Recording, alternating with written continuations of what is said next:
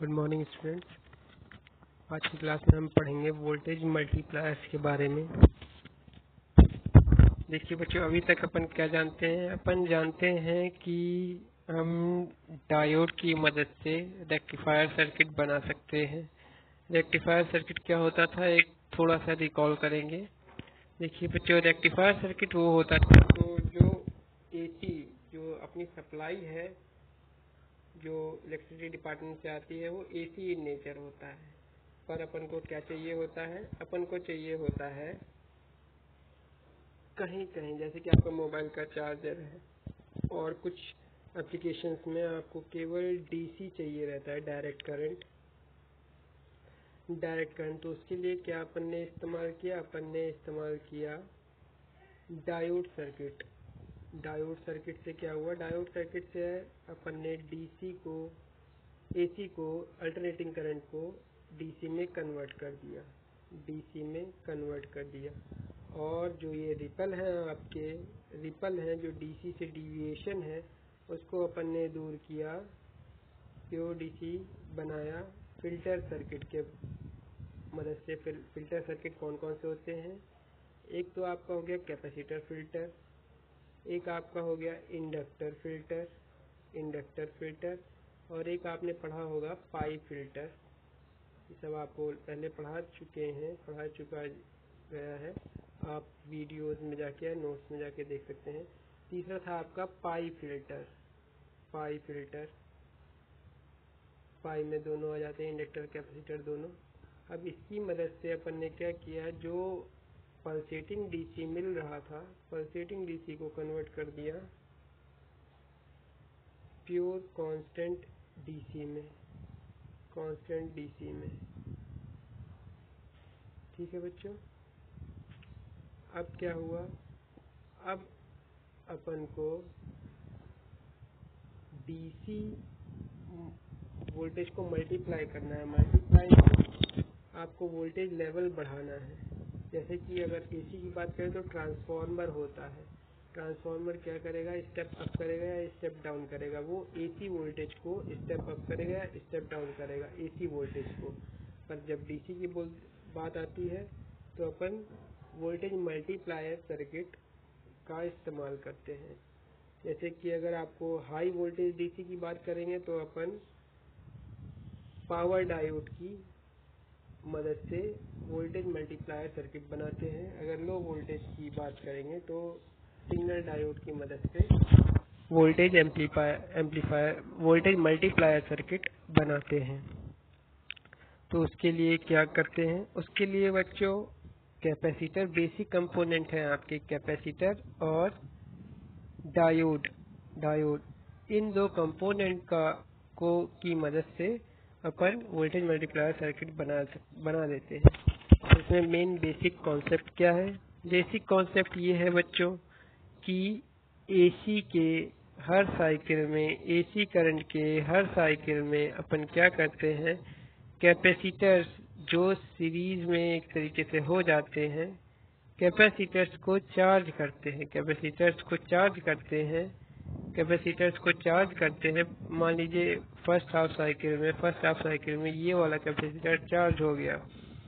और इस तरह से सर्किट डिज़ाइन करेंगे डायोड को इस तरह से अरेंज करें कि, करेंगे कि दूसरे साइकिल में,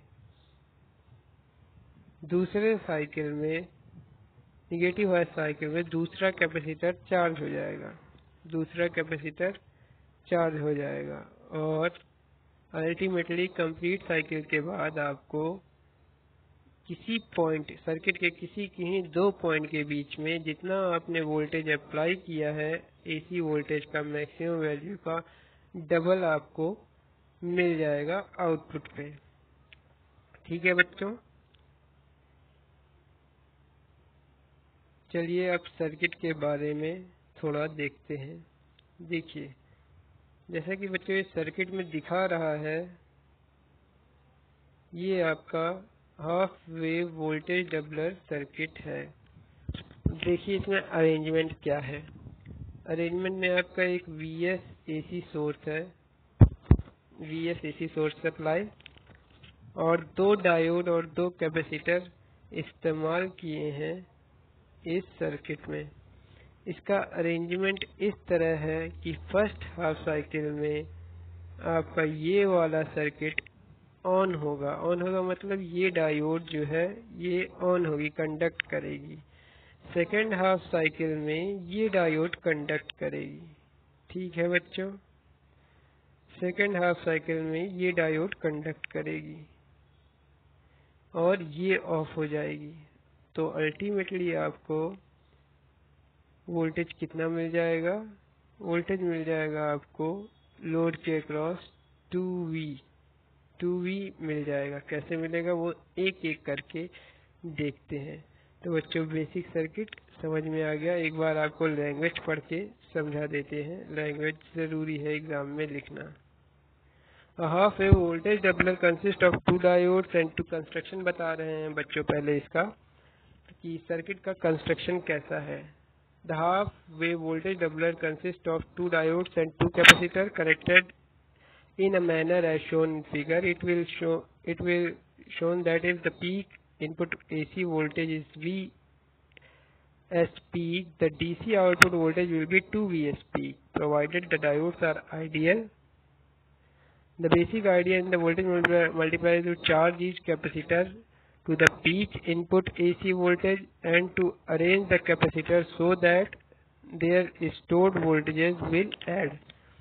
तो बच्चों, दिखाया गया था, क्या है इसमें बेसिक फिनोमिना जैसा कि आपको बताया गया था, इसमें कैपेसिटर बेसिक फंडा है कैपेसिटर को चार्ज करने का हर साइकिल में और इस तरह से चार्ज करने का कि फाइनली जब आप आउटपुट ले तो उसके अक्रॉस आपको वोल्टेज मिलेगा सर्किट एक्शन क्या है? अब बच्चों, बात करेंगे सर्किट कैसे काम करता है। सर्किट कैसे काम करता है, इसको अगर आप एक बार में देखेंगे तो कंफ्यूज हो जाएँगे, इसलिए आप पार्ट बाय पार्ट एसी के एक साइकिल में क्या होगा, दूसरे साइकिल में क्या होगा, वैसे देखेंगे हम, एक एक करके। ठीक है बच्चों? अब स्टार्ट करते हैं।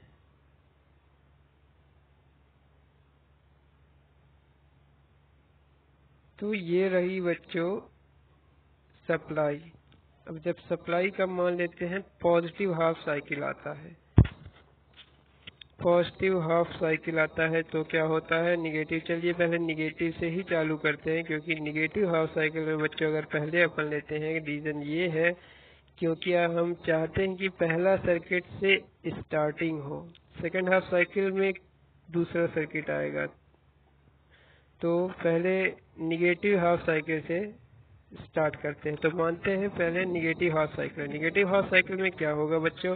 पोलैरिटी जैसे कि इसमें दिखाई गई है सर्किट में पोलैरिटी आपकी ये रहेगी सोर्स की। सोर्स की पोलैरिटी ये रहेगी। तो देखते हैं कौन कौन सी डायोड आपकी शॉर्ट सर्किट हो जाती है। तो कैपेसिटर जब स्टार्टिंग में ओपन सर्किट लास्ट में शॉर्ट सर्किट की तरह काम करता है। तो देखते हैं कौन कौन सी लाइट चूँकि पी का पॉजिटिव कनेक्ट है और एन का निगेटिव कनेक्ट है। कैपेसिटर को शॉर्ट करके देख लेंगे तो इससे ये डायोड डी वन ऑन हो जाएगी। और डायोड डी को देखते हैं। डायोड डी में अगर आप शॉर्ट करते हैं तो पॉजिटिव प्लेट से डायोड के निगेटिव सोर्स का निगेटिव वोल्टेज कनेक्टेड है। और निगेटिव प्लेट से पॉजिटिव कनेक्टर तो श्योर शॉर्ट हो गया बच्चों ये कि आपकी D2 डायोड ऑफ़ होगी। D1 ऑन होगी D2 ऑफ़ होगी। अब क्या होगा? अब जब आपकी D1 ऑन हो गई तो होगा क्या? D1 ऑन है D2 ऑफ़ है। तो बच्चों इसको दिखाने के लिए एडजस्टेंट बगल वाले सर्किट में दिखाने के लिए अपन ऑन जो हो गई है, उसको शॉर्ट सर्किट कर देंगे। जो ऑन है उसको शॉर्ट सर्किट कर देंगे। जो ऑफ़ है उसको ओपन सर्किट कर देंगे। जो ऑफ़ है उसको ओपन सर्किट कर देंगे। ठीक है बच्चों? देखेंगे। जो ऑन है उसको शॉर्ट सर्किट कर दिया। जो ऑफ़ है उसको ओपन सर्किट कर दिया। दिख रहा है बच्चों यहाँ पे? अब देखिए होगा क्या। इस कैपेसिटर में फ़र्स्ट जब निगेटिव हाफ़ साइकिल है तो इस में कोई चार्ज नहीं रहेगा। स्टार्टिंग कैसे होगी? ये वाला कैपेसिटर आपका minus plus V S minus plus V S से चार्ज हो जाएगा। ठीक है बच्चों? माइनस प्लस वी एस से चार्ज हो जाएगा। कैपेसिटर आपका चार्ज है सी वन वी एस से।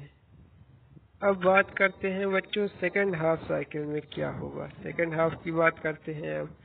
सेकंड हाफ़ में क्या होगा?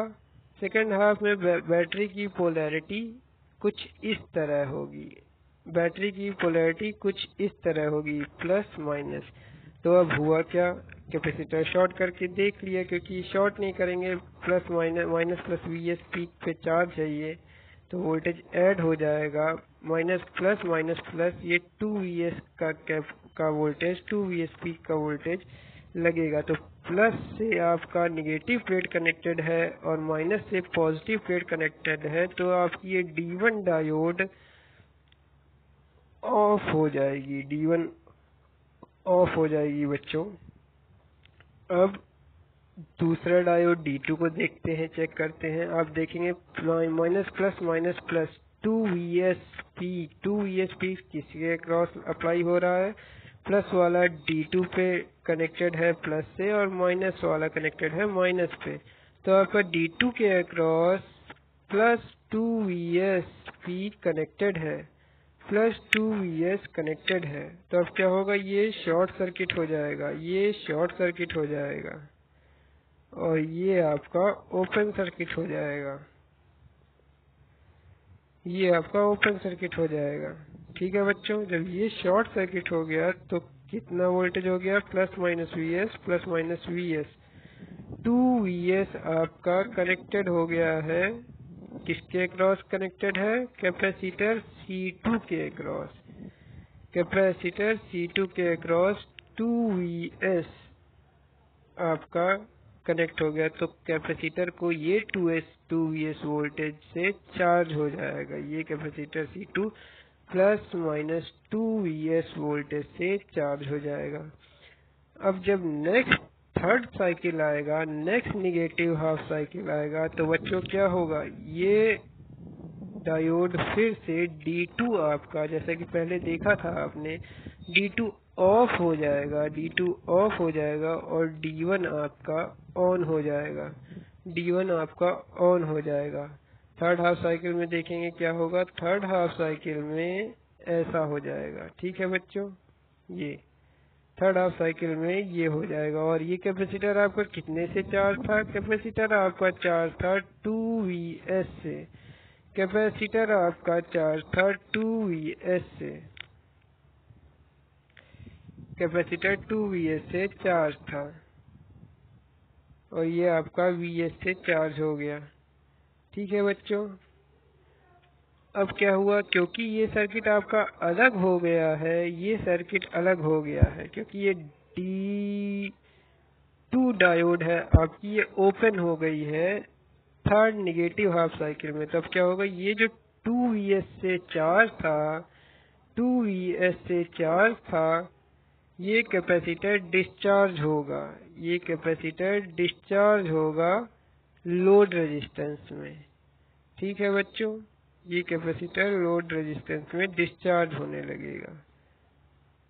तो ऐसे ही हर साइकिल में, हर एक एक कंप्लीट साइकिल में two V S voltage add V S V S करके two V S voltage add होगा और थर्ड हाफ़ साइकिल में, एक हाफ़ साइकिल में डिस्चार्ज होगा। चार्ज होगा डिस्चार्ज होगा। तो बच्चों, ये जो आर एल के अक्रॉस आपको मिल जाएगा, अगर आपने कैपेसिटर बहुत चार्ज डिस्चार्ज चार्ज डिस्चार्ज ऐसा कुछ वेव फॉर्म मिलेगा आर एल के अक्रॉस अगर कैपेसिटर बहुत ज़्यादा है तो चार्जिंग डिस्चार्जिंग आपकी पता नहीं चलेगी। ठीक है बच्चों? ये देख लिया।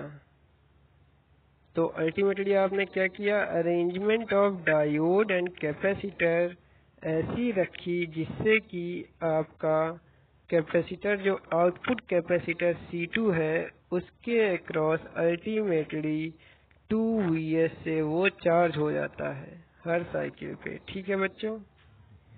ठीक है तो इसमें एक पॉइंट ये इम्पोर्टेंट है कि आपकी C1 और C2 की जो रेटिंग होगी उसमें आपकी C2 की कैपेसिटेंस ज़्यादा होनी चाहिए। C2 की कैपेसिटेंस ज़्यादा होनी चाहिए क्योंकि वो कितने वोल्टेज से चार्ज हो रहा है? 2 Vs से।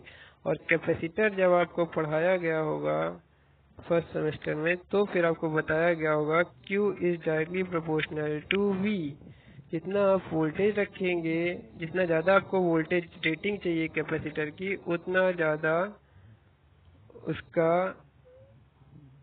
उसमें जितना चार्ज ज़्यादा करना होगा, उस, उसमें आपको वोल्टेज रेटिंग भी उतनी ही देनी पड़ेगी उसको। ठीक है बच्चों?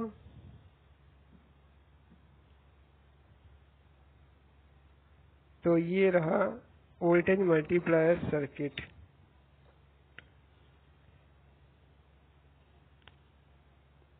next topic कल की क्लास में पढ़ाया जाएगा। ठीक है बच्चों?